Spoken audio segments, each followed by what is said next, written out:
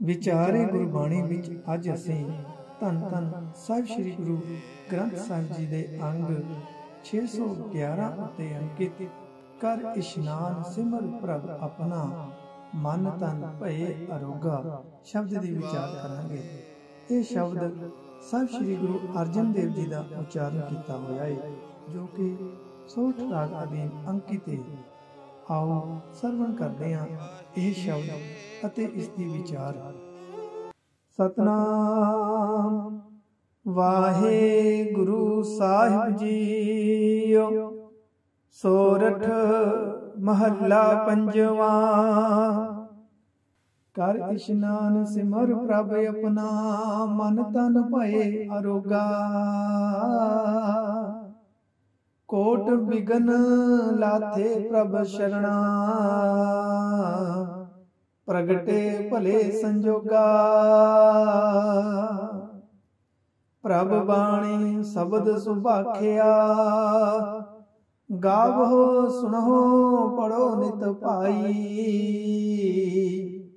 ਗੁਰ ਪੂਰੈ ਤੂੰ ਰਾਖਿਆ। ਰਹਾਉ ਸਾਚਾ ਸਾਹਿਬ ਅਮਿਤ ਵਡਿਆਈ, ਭਗਤ ਵਸ਼ਲ ਦੇ ਆਲਾ। ਸੰਤਾਂ ਕੀ ਪੈਜ ਰੱਖਦਾ ਆਇਆ। ਆਦ ਬਿਰਦ ਪ੍ਰਤਪਾਲਾ।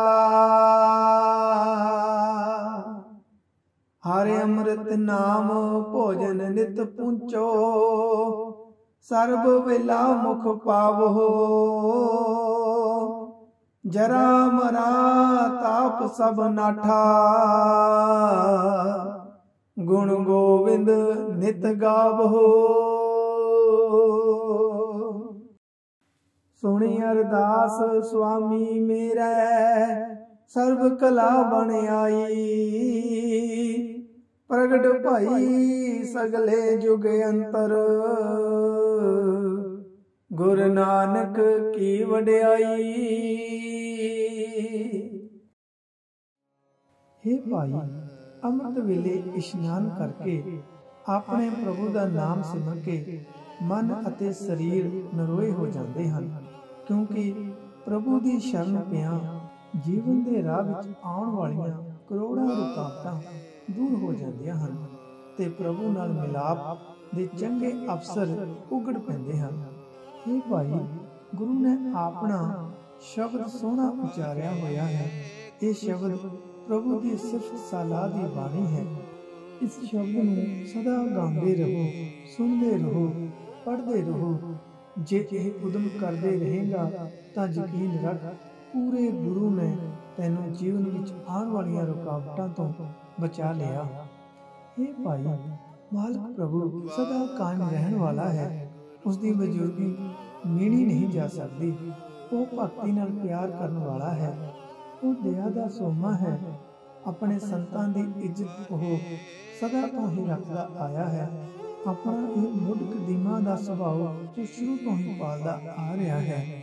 ਇਹ ਭਾਈ, ਪਰਮਾਤਮਾ ਦਾ ਨਾਮ ਆਤਮਿਕ ਜੀਵਨ ਦੇਣ ਵਾਲਾ ਹੈ। ਇਹ ਆਤਮਿਕ ਖੁਰਾਕ ਸਦਾ ਖਾਂਦੇ ਰਹੋ। ਹਰ ਵੇਲੇ ਆਪਣੇ ਮੂੰਹ ਵਿੱਚ ਪਾਉਂਦੇ ਰਹੋ। हे ਭਾਈ, ਗੋਬਿੰਦ ਦੇ ਗੁਣ ਗਾਉਂਦੇ ਰਹੋ। ਆਤਮਿਕ ਜੀਵਨ ਨੂੰ ਨਾ ਬੁਢੇਪਾ ਆਵੇਗਾ, ਨਾ ਮੌਤ ਆਵੇਗੀ। ਹਰੇਕ ਦੁੱਖ, ਕਲੇਸ਼ ਦੂਰ ਹੋ ਜਾਏਗਾ। हे ਭਾਈ, ਜਿਸ ਵੀ ਮਨੁੱਖ ਨੇ ਗੁਰੂ ਦੇ ਸ਼ਬਦ ਦਾ ਆਸਰਾ ਲੈ ਕੇ ਪ੍ਰਭੂ ਦਾ ਨਾਮ ਜਪਿਆ, ਮੇਰੇ ਮਾਲਕ ਨੇ ਉਸ ਦੀ ਅਰਦਾਸ ਸੁਣੀ।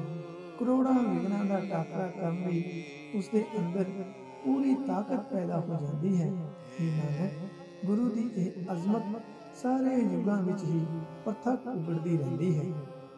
ਤੁਲਕੀ ਬਾਣੀ ਨਾਲ ਗੁਰੀ ਸਾਂਝ ਪਾਉਣ ਲਈ ਗੁਰੂ ਨਾਨਕ ਦੇ ਰਾਹ ਦੇ ਪਾਂਦੇ ਬਣੋ ਸ਼ਬਦ ਗੁਰੂ ਸਾਹਿਬ ਸ੍ਰੀ ਗੁਰੂ ਗ੍ਰੰਥ ਸਾਹਿਬ ਜੀ ਦੇ ਲੜ ਲੱਗੋ। ਵਿਜ਼ਨ 1469 ਚੈਨਲ ਨੂੰ ਲਾਈਕ ਸ਼ੇਅਰ ਅਤੇ ਸਬਸਕ੍ਰਾਈਬ ਕਰਨਾ ਨਾ ਭੁੱਲਣਾ ਜੀ। ਵਾਹਿਗੁਰੂ ਜੀ ਕਾ ਖਾਲਸਾ, ਵਾਹਿਗੁਰੂ ਜੀ ਕੀ ਫਤਿਹ।